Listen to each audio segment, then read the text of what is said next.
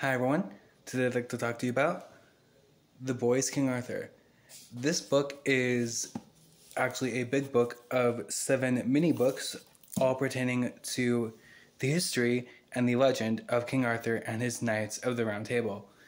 Now, you probably have heard the name King Arthur at some point in your life, whether it's through books like this or whether it's through TV shows or movies.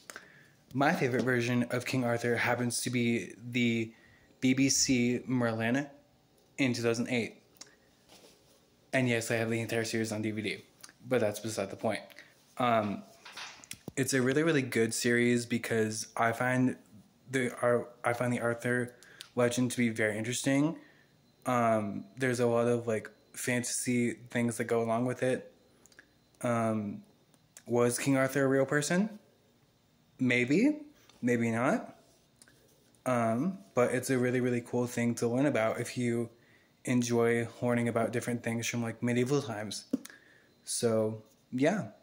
If you want to learn more about the King Arthur legend, pick up a book about it at your local library.